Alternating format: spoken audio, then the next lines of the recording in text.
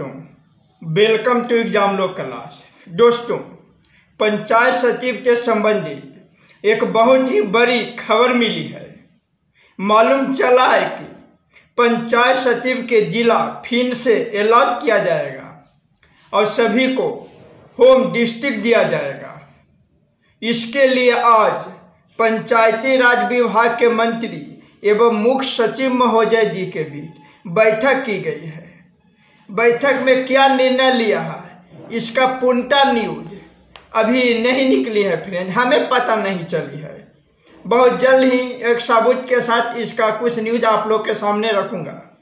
लेकिन जितने भी हमारे पंचायत सचिव के भाई हैं, जितने भी हमारे साथी हैं, जो पंचायत सचिव में सेलेक्टेड हैं, उनको, उनकी अपनी पंचायत के, रिंकी जी के कसम है।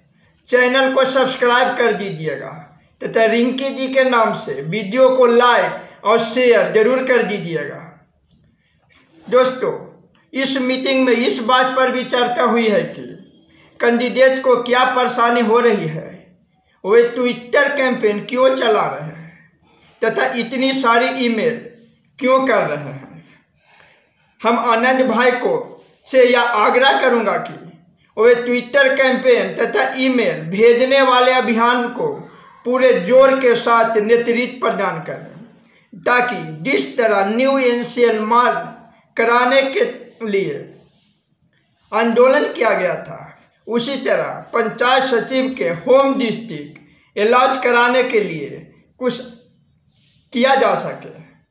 हम अपने सभी साथियों, जैसे शिव भाई हुए, गजेंद्र भाई, शंकर भाई, रवि भाई, सूरज भाई, विनोद भाई, विष्णु भाई बिक्की भाई, रवि भाई, हुसैन भाई, अंजलि जी, नेहा जी, सभी लोग से अनुरोध करता हूँ कि इस कार्य में अपना मार्गदर्शन प्रदान करें। दोस्तों, ये न्यूज़ एक ऑथेंटिक सोर्स से मिली है तो हमें लगा सभी अपने पंचायत सचिव भाइयों को शेयर कर दिया जाए। मैं भी दोस्तों एक पंचायत सचिव के पद पर ही बिहार एस द्वारा सिलेक्ट हुआ हूँ।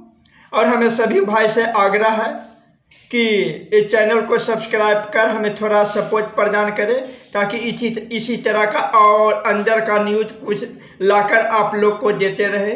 और भविष्य में हम लोग मिलकर अगर किन्हीं भी पंचायत सचिव के साथियों के साथ अन्याय होता है तो इस प्लेटफार्म यानी एग्ज़ाम लोग क्लास प्लेटफार्म के माध्यम से उसका आवाज़ उठा सकें। धन्यवाद दोस्तों।